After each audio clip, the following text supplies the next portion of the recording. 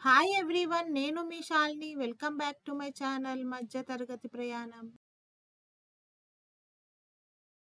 ఈరోజు మన రెసిపీలో ఇడ్లీ, వడ, దోశలోకి దేంట్లోకైనా తినే పల్లి చట్నీ. మరి దీన్ని ఎలా తయారు చేయాలో లేట్ చేయకుండా చూసేద్దాం పదండి.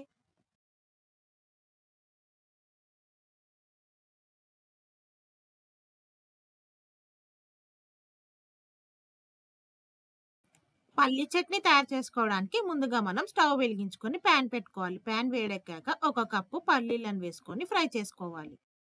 పల్లీలు ఫ్రై చేసేటప్పుడు మనం స్టవ్ సిమ్‌లో పెట్టుకొని ఒక ఫైవ్ మినిట్స్ పల్లీలను ఫ్రై చేసుకోవాలి. పల్లీలు మనకు ఒక ఫైవ్ మినిట్స్ ఫ్రై అయ్యాక ఇప్పుడు ఇందులో మనం ఒక టేబుల్ స్పూన్ ఆయిల్ వేసుకొని మళ్ళీ ఫ్రై చేసుకోవాలి.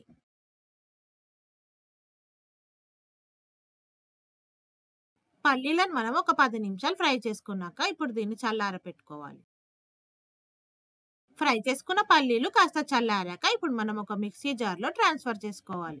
పల్లీలను వేసుకున్నాక ఇప్పుడు ఇందులో మనం రెండు పచ్చిమిరపకాయలు, కొద్దిగా కొత్తిమీర వేసుకోవాలి. అలాగే ఇందులో రెండు వెల్లుల్లి, ఒక స్పూన్ జీలకర్ర వేసుకోవాలి. ఇప్పుడు మనం మూత పెట్టుకొని పల్లీలను ఒకసారి గ్రైండ్ చేసుకోవాలి.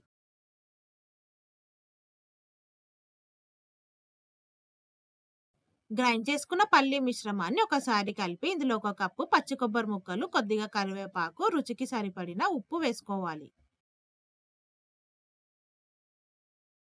రుచికి సరిపడిన ఉప్పు వేసుకున్నాక ఇప్పుడు ఇందులో కొద్దిగా వాటర్ వేసుకొని మూత పెట్టుకొని మనం మెత్తగా గ్రైండ్ చేసుకోవాలి. గ్రైండ్ చేసుకున్న పల్లీ చట్నీని మనం ఒక బౌల్‌లో ట్రాన్స్‌ఫర్ చేసుకున్నాక ఇప్పుడు మనం పల్లీ చట్నీకి పోపు పెట్టుకోవాలి.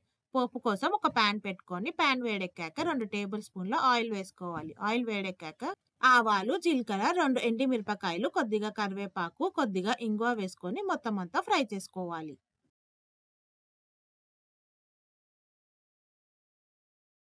పోపు మనకు ఫ్రై అయ్యాక ఇప్పుడు మనం ముందుగానే రెడీ చేసి పెట్టుకున్న పల్లి చట్నీలో వేసుకొని మొత్తం అంతా కలిసేలా కలుపుకోవాలి. అంతే ఫ్రెండ్స్ మనకు ఫైవ్ మినిట్స్‌లో అయిపోయే టేస్టీ టేస్టీ పల్లీ చట్నీ రెడీ అయిపోతుంది.